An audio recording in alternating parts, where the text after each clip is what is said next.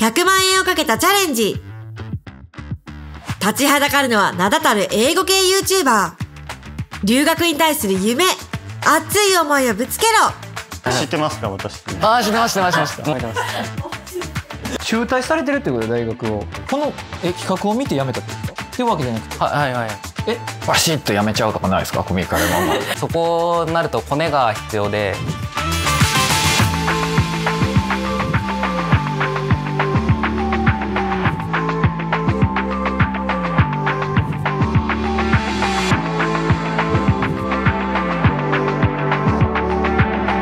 留学グランプリ。思いをぶつけて100万円ゲット主催の留学兄さん K です。この企画では皆さんに奨学金100万円を競っていただく企画です。私が経営する留学アシスタント株式会社から皆さんの留学の夢を応援したいという思いで出させていただいています。この企画から世界で羽ばたくグローバル人材を見たいと純粋に思っております。はい司会を務めさせていただくイーさんですよろしくお願いしますえー、ではですね世界に羽ばたける有望なチャレンジャーを紹介します。簡単なプロフィールを教えてください。名前は吉田正宏で福島県出身二十歳です。で属性は、うんと、今年の3月に大学を辞め1年間で辞めてで1年間は、うんと、お金を貯めてから来年の9月に海外の大学に行きたいと思ってます。で今はそのお金を貯めてる時期。ありがとうございます。ではえー、正宏さんのチャレンジスタートですでは1分間の英語自己紹介していた後に、えっ、と、日本語で審査員と、えーディスカッションしていただきます。Thank you so much for coming today. Could you tell us a little bit about your dream and briefly introduce yourself? I have a dream that I will energize Japan's regional cities through sports. And let me introduce myself. My name is Masahiro, and I was born and raised in Japan. And after I graduated from high school, I got into university just because all my friends did so, and there was no specific reason for me. So because of that choice, something something that I need to satisfy my life was missing. So actually, I quit the university in the first year and decided to go to the US because my gut feeling was saying that I gotta get out of the comfort zone and step into another world. In the US, I want to major sport management because I have played soccer since I was eight, and I think sports have power to get out, get our spirit together. A good example is a World Cup, which is going on in Qatar. When Japan won against Germany and Spain, we were excited and we felt like we are one team. So I think it would be awesome if we, you know, get excited throughout the year, not only during the sports events such as World Cup. So uh, in the US, I want to, you know, get inspiration in order to, you know, energize Japan's regional city through sports. はい。ありがとうございます。ではディスカッションに移りますので。今ワールドカップ熱いっすよね。熱いです。僕ね、もう僕もスペイン戦泣きましたからね、僕。そうですね。僕も泣きました。もう最近カタール時間で体が動いてます。そうですよね。もう本当に。じ自分自身はなんかスポーツとかやられてるんですか？あ自分自身サッカーやってて、ずっと8歳からやってて、あ、でそうそうか、さっき言ってたあ ごめんなさい。いや、ごめんなさい、ごめんなさい。は いはい、いつもご飯食べ行くとこんな感じだから。そうですね。はい言ってた、言ってた。一瞬ブラックアウトあー、一瞬ブラックアウトして。ああ、なるほど、なるほど。え、え、英語がすごい綺麗だと思うんですけど、どうやって勉強なさったとか、海外経験とかは？いや、海外経験はなくて、でも英語はずっと好きで、その、音の真似とか、会社の名前のなんか CM? Inspired Next とか、なんか、日立なんとか、あれ そういうのとかを、なんか、真似したりするのが、かっこいいなってずっと思ってて、そして、あとなんか、あとは YouTube で発音を真似したりって感じですね。お、いるじゃないですか。うん。大先輩が。し知ってますか？私。ああ、知ってます、知ってます。もう毎毎回見てます。面白すぎる。知ってますか？私いや、あれ？片言何の発何の発音ちょっと片言だった今誰のタイの日本語になってました。えなんかいいですか？僕ちょっと踏み込んだことになるんですけど。まあ、いっぱいね、今回あの応募あったと思うんですけど、正宏さんなんでご自身で今ここに来れたと思います？なんで自分はここに選ばれたと思います？えー、自分は、やっぱりその、やりたいことがはっきりしてるし、その、プランとかも、あの、ケイさんとズームで話した時にも、プランどうやるのって聞かれた時に、プランはこうでこうでこうでって答えられて、その道筋がはっきりしてるから、その、ぶれない目標があれば、その、こう、まあ、ぐねぐねしてもたどり着けるだろうっていう、あれで僕は選ばれたのかなって自分では思ってます。なるほど。最終的なゴールは何ですか？最終的なゴールは、これなんかとってすごい不明瞭なんですけど、ヨーロッパとかに比べたら日本ってやっぱまだそのスポーツっていうのが根付いてなくて、その、例えば川崎フロンターレとかだったらその川崎の市民は、まあ一部の人はまあ川崎すごい応援してるけど、それ以外の人、9割ぐらいの人って全然そんな興味ないっていう状態なんですね。だけど、そのヨーロッパの方たち、例えばバルセロナの方たちとかは、そのみんなもう週末は集まって、もう集、なんですか？みんなでエキサイトして、わーってなって、で、それでそっからなんか、これ聞いた話なんですけど、そっからそのビジネスとか、この会話の場となって、そのサッカーとかが。で、そっからまたその地域がこう発展していくみたいなのを聞いて、そういう風に日本もなったら、まあいいかなと思ってて、っていう、そういうのが最終的目標です。それは地域発展ってことですか？ああ、そうです、そうです。あ地域の発展にスポーそうですそうツを役立てたいみたいな。なんでそう思うようになったんですか？と僕は福島県出身で、いわき FC っていうチームがあるんですけど、最近 J2 に上がって、で、だけど、そのいわき FC は2012年に、あの、震災の復興のために作られたチームで、でも全然最初は、やっぱ下から始めなくちゃいけない社会人リーグ、もう全然下の方、社会人の3部とかから始めて、こう上がってって上がってって、でも上がっていくごとに、その、新聞の切り取りのページ新聞ってこんぐらいでかいじゃないですか。最初は全然もうこんなぐらいでスコアぐらいしか乗っか乗っかってなかったのに、その、上がっていくごとにそれもでかくなってって、それに伴ってその、地域とかも CM とかでいわき FC の宣伝したり、なんかデパートとかに行ってもいわき FC のグッズがあったり、なんか、ああ、こうやって、こうやってスポーツやると、なんか地域とかも盛り上がるんだなと思って、盛り上げるためにやっぱスポーツが一番最適な手段かなと思って自分は思ってて、スポーツを通して地域復、地域復興での地域を盛り上げたいみたいな感じに至るようになりました。なんかサッカーのお話だけがちょっと多いん。まあ、でご自身やられてたのもあるんですけど、他にどんなスポーツが？他には野球とかを見るのは好きで、でも他の、他のスポーツはサッカーほど見てはなくて、他のスポーツは野球とかテニスとかは見るけど、見るのは好きです。スポーツを使って何かをしたいってなった時にやっぱ使いたいのは僕はサッカーで、それは自分がずっとやってて、その、サッカー知ってるし、なんかして経営するとかなった時に、やっぱサッカーのことだとなんか移籍の期間とか、なんかそういうのもいろいろあって、マーケットとかがいろいろあって、で、そういうのにまあ詳しいって言える自信があるので、そういう風な経営とかってなった時にやっぱサッカーが自分は一番向いてると思ってます。でもなんでアメリカなんですかそしたら？うんと、それは、アメリカはスポーツ、ね。サッカーそんなに根付いてない。ヨーロッパ系の方がね、しかもイギリスイギリスに行こうと思ったんですけど、自分は、あの、スポーツマネジメントをやりたくて、うんと、スポーツマネジメントってなった時に、やっぱアメリカの方が規模がでかい。あの、アメフトとかアメリカ有名だと思うんですけど、その経営の方針っていうか趣旨自体はやっぱ、どのスポーツも共通してて、サッカーでも、まあ、この経営方法が、なんかその、やっぱり盛り上げるために一番だよっていう方法とかがあって、そのスポーツ、どのスポーツにも、その方針みたいなやつが当てはまるので、そのやっぱスポーツマネジメントを学ぶってなった時には、やっぱアメリカが一番規模が大きくて、自分の学びたいことがやれるかなと思って。この選ばれてるあのコミカレは？それで有名なところなんですか、いや、コミカレは、なんか一般教養うん。を学ぶので、なんか、そのコミカレ自体は、うんと、なんかスポーツマネジメントに特化したとかではなくて、その3、4年生のに入るときに、スポーツマネジメントがまあ有名な、それはどこを考えてらっしゃる？テキサス A&M 大学っていうのがあって、そこはスポーツマネジメントが結構盛んで、で、それに加えて、インターン時間が、その単位にすごい要求されてる。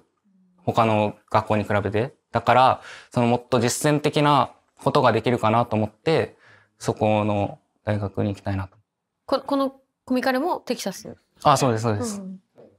でもなんか、僕はイギリスでもいいんじゃないって思っちゃうんですけど、それこそ本場のサッカーがある中で、あの、やっぱりふアメフト、確かに盛んだと思いますし、あの、規模も大きいと思うんですけど、やっぱりアメリカ市場自体が結構国内として、あの、規模がでっかいです、そういうふうになってると思うんですけど、やっぱ全世界で見るとサッカーの市場ってめちゃめちゃでかいじゃないですか。で、中で本場のイギリスとかの方が合うんじゃないかなって思ったりするんですけど、それこそその街とか見えるじゃないですか。実際に、こう、ねサッカーによってそ大きくなっていくようなカルチャーであったりとう。か、うんそっちの方が本場な感じするんですけど、なんかアメリカだともうアメフトってなっちゃいますよ。いや、アメリカにも一応サッカーのリーグ MLS ねってのがあって、で、それの市場規模が結構今、その、僕も、あの、なんですか、アメリカ全体的にはまだサッカーってそんな知名度っていうかそんな人気度はそんなすないと思うんですけど、自分が学んでる間にその上がっ、その知名度が上がってる様をこう、街がどうやって変わっていくかとか、街がどうやってサッカーに、が大好きな街になるかみたいな。そういう一歩行ってるのがアメリカで日本よりも。そうです、そうです、そうです。で、あえ今、上り詰めてる時ところだから、そこを見る方が、今はもうイイギリスとかは成熟してっここちゃってると。になっちゃってるから、だけど自分はその、日本はまだ全然根付いてないと思って、でもその、アメリカに行けばその上がっていく様を見ていけるので、その、そこの過程がまあちょっとは勉強になるかなと思って、この学びたいところの周辺にチームはあるんですか？あ、あります。アメリカって今上がっていってるんですね、じゃあサッカー。なんか僕上がってあんまそんな印象を受けてなかったんです一けど。回、まあ女子はね、すごい世界前に。できたんですけど、一回それ、なくなっちゃって、全然人気なすぎて。なんですけど、最近やり始めて、なんか改善したら、その、上がり始めてるっていう。だから、今回もアメリカワールドカップ出てますし、だからその象徴なのかなって僕は思ってて。で、アメリカ国内選手も結構いるので、アメリカかイギリスかそのスポーツビジネスを学んで、で、日本に帰ってきた時に、そのスポーツチームとかに就職したいみたいな感じそうですか。で、その最高峰とかだったらどういうとこなんですか？なんか GAFA だったらアップルとかなんか、その最高峰的なそのスポーツビジネスの花みたいな会社あるんですか？例えば、うん、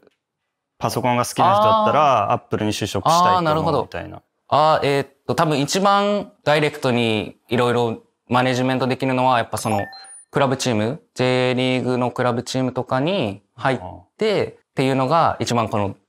直接自分ができる。あそれはどうやったら入るじそのクラブチームに入れるんですか？うんと、どうやったら、やっぱ、そこになるとコネが必要で、求人とかでは、なんですか、募募集してないやつなんですね。だから、その、コネ、その、いわき FC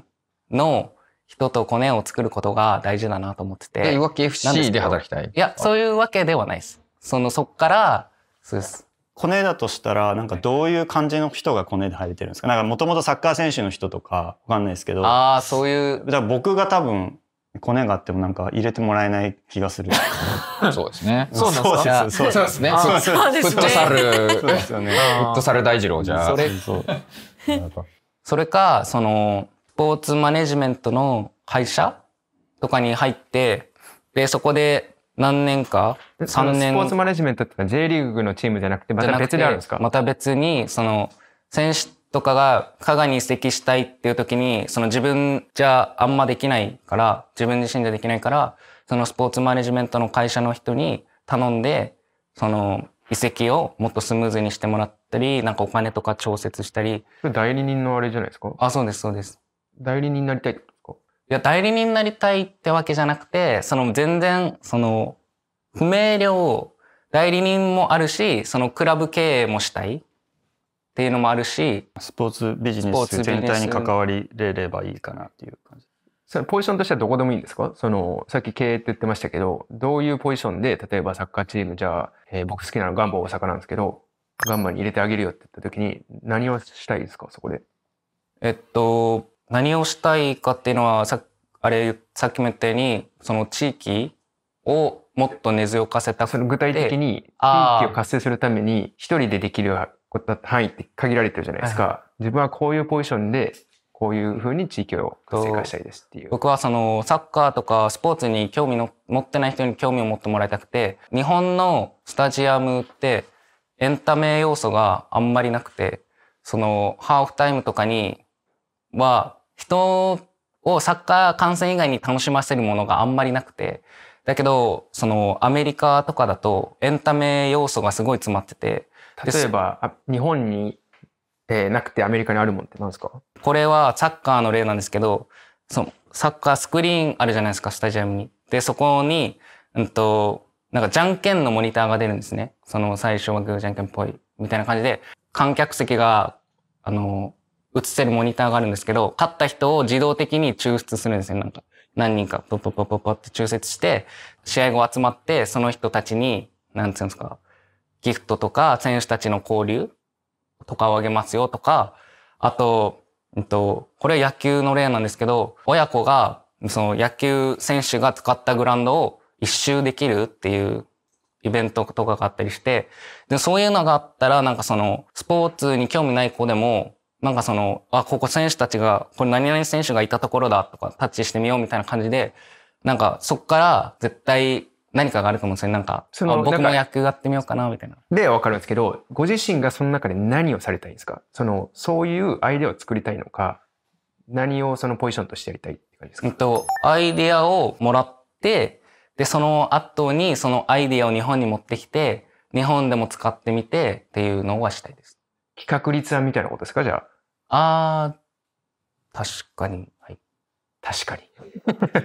今北海道になんかね、野球の日本ハムのなんか球場作ってますけど、いろんな複合施設入ったような。そういうイメージじゃなくて別にスクリーンになんかこうやって企画みたいなさっきケイ君言ってたような。企画をやるみたいな。企画をやって、まずそれが第一歩だと思ってて、企画をやって、そのみんなスポーツに興味を持ち始めたら、まあ集客率とかも多分上がると思うし、それの集客率の分かったお金を使ったりとかして、その、今めっちゃ今、経声営者の、経営者の話を今されて声がすごく小さな出てたから。まあね、そこはね、確かに。まあ言ってから学ぶこともあると思う。はいはいはい。まあね。いや、なんか僕が聞きたかったのは実際に、そのアイディアとかすごくいいと思うし、やったらいいと思うんですけど、やっぱり最初からできることであったりとか、実際にじゃあどういうポジションがそのサッカーの中で空いててとか、企画立案なのか、それともマーケティングっていう部署になるのか、マーケティングの中でも企画立案ってちょっと被ったりするとこもあるんですけど、具体的にこういうことがしたいです。そしたら自分の大学でこういうことを学んだらそこにリンクすると思いますっていうのがちょっと聞きたいんですよ。ああ、うんと、大学では、その A&M のところにプランニングっていう授業があるんですけど、そのプランニングっていう授業では、その自分たちはこのマテリアルがあって、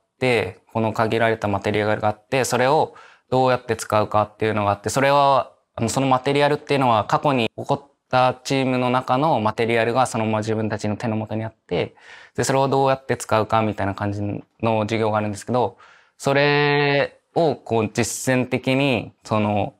大学卒業した後でもその使えるかなっていう だんだん声小さなって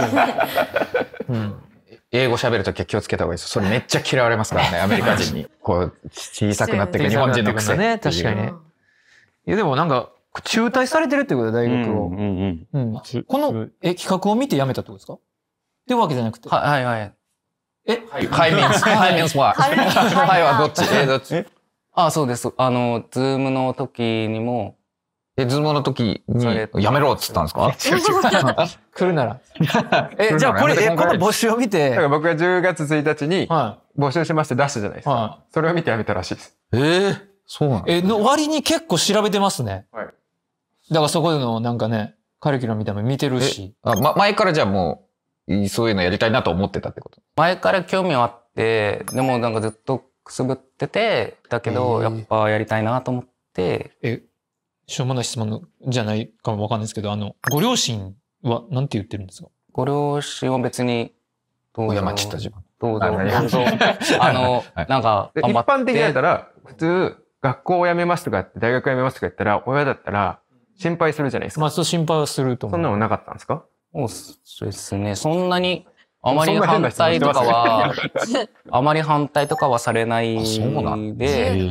なんか、やってみたいんだったら、やってみな。それは、金銭的にも援助するよって言ってくれるんですか？金銭的にも、いやだから、あ、テキサスの大学は、インステイトとアウトオブステイト二つあるじゃないですか。そのテキサスの大学は、その、インステイト、しかなくて、外国人だからって言ってその外国人のお金を払わなくていい。そのアメリカ人の、アメリカ人が払ってるお金を奨学金、あと授業料として払えば大丈夫だよっていうのを調べて、だからその金額的にも、あの、まあ、高いですけど、うんと、他の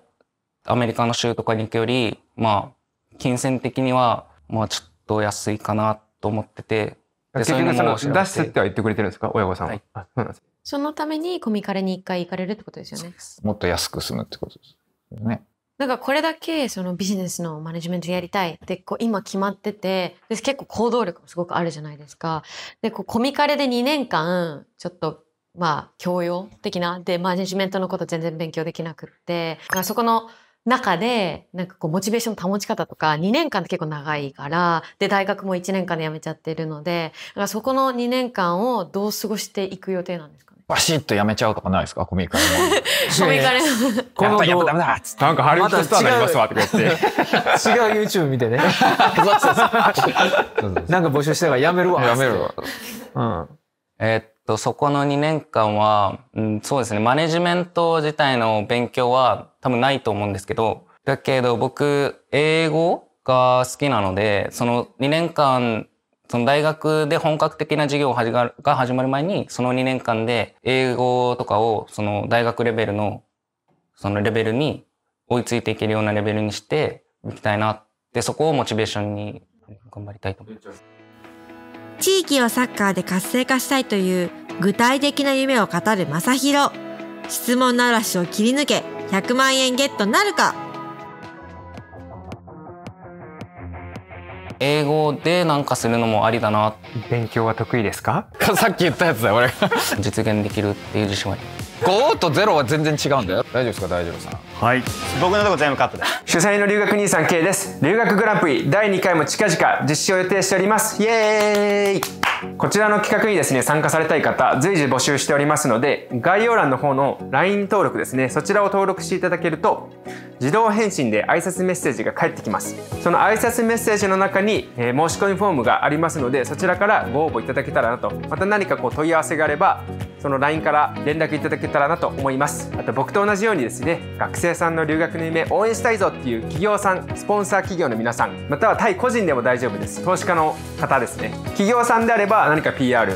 個人の方であれば審査員として座っていただく。どちらも大歓迎ですので同じく LINE 登録をしていただいて問い合わせいただけたらなと思います。